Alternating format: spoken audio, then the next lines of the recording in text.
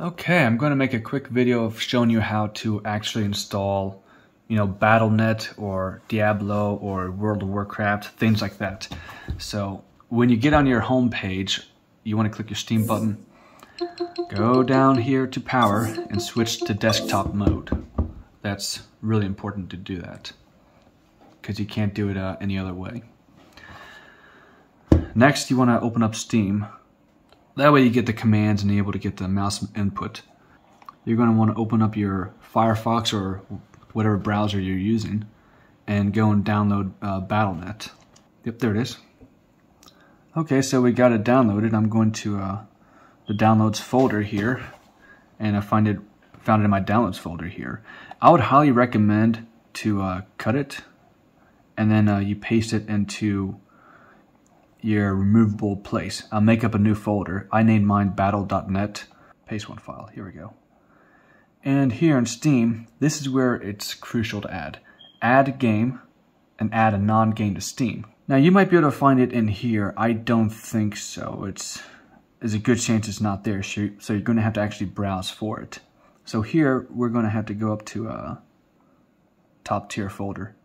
And here you want to go to run media uh, your weird name here. And then here is where your media is. And this is where you find battle.net or wherever you located it. And it, was, it won't show up here. So you have to change file type to all files. And now you have this up here. So you click on that and click open. And so we add selected programs. And then when we go to library, we can go and try to uh, figure out where it is. Is it going to show a new one? Yep, no recorded activity, this one. This is the newest one. So you you can try to click play, but it, there's a good chance it probably won't even work. So you want to right click on it, uh, manage or uh, properties, compatibility, force the use of specific proton. So let's use experimental. And then that's when we can actually open it up and click play.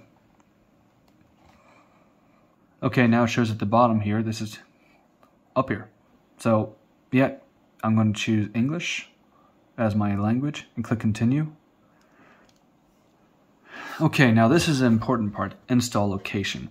It's going to create a, it's going to try to create something like it would on Windows because it needs to install to that specific location. So we're going to actually change it. Your thing probably will not look like this. Uh, I added my external SD card as a emulated E drive essentially what I downloaded before was Flatseal, I remember. And I had to go to applications and change it. So if I click change, I got to get that Steam thing out of the way.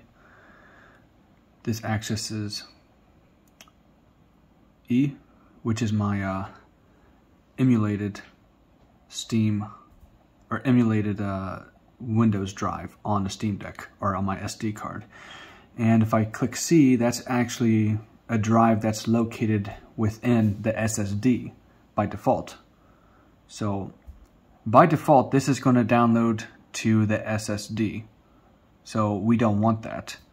We want to uh, use it in Battle.net.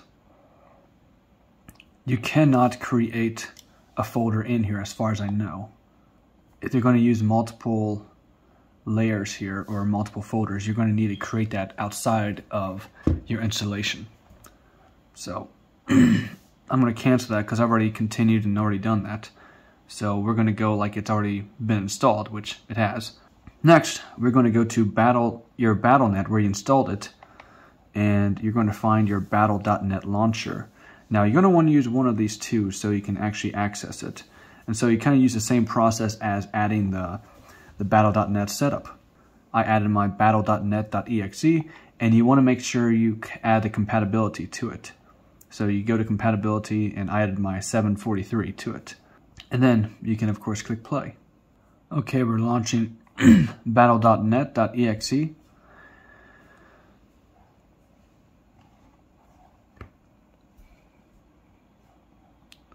Uh, so let's try to see if we can up we can install Overwatch 2. So if we click install, we can change our folder here. I'm just installing in this folder. So D Overwatch, and now click start install. And so essentially that's how you install games and you can also launch it from your battle.net.exe. And so, of course, you can also load this into your Steam Deck gaming mode. And you want to go to your non-Steam games. This is where you find your Blizzard launcher. So we click on it and click play. Now, the mouse thing will not work. You might have to use your finger to launch things. So that's the only problem. So here, as you can see, click on things. That's the only caveat here. Uh, you might be able to change that in settings, I'm not too sure. I don't really care or find it too offensive. So as long as it gets me in the game, that's all that really matters. Uh, so yeah, that's pretty much it.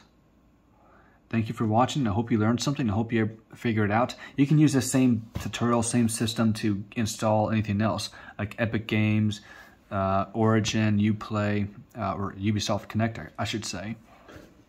You can also use uh, Heroic Launcher. I've seen it.